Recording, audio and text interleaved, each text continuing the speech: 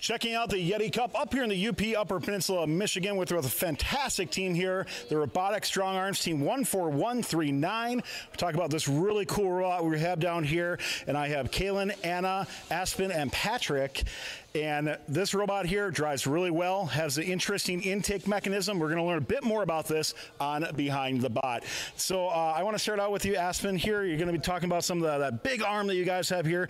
Tell me about the arm. How did you come up with wanting to use something like that?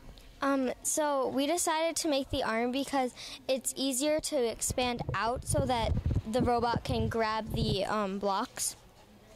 So as you look at expanded blocks, how did you think about when you're looking at maybe different things for arms? Why did you choose that in particular?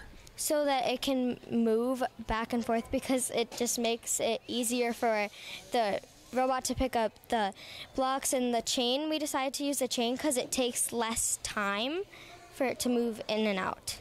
And as we're seeing the intake and the wrist starts to work here, what do you want to tell us a little bit about? Um, what we have on our wrist is Patrick, want to throw it up?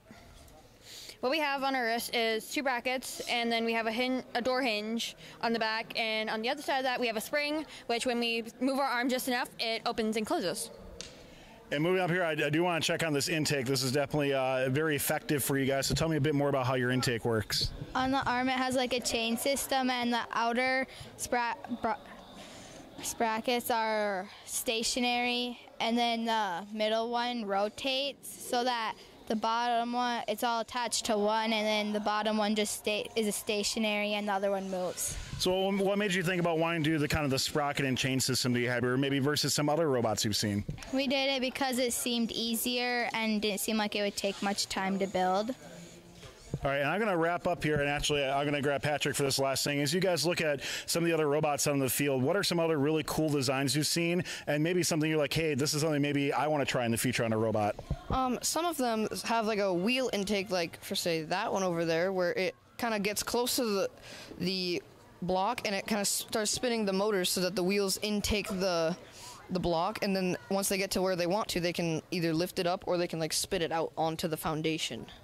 Well, super cool strong arms looking really great here at this competition. Can't wait to see more of what this robot does both here and throughout the rest of the competition season. Good luck to your robot and good luck to your team the rest of the season.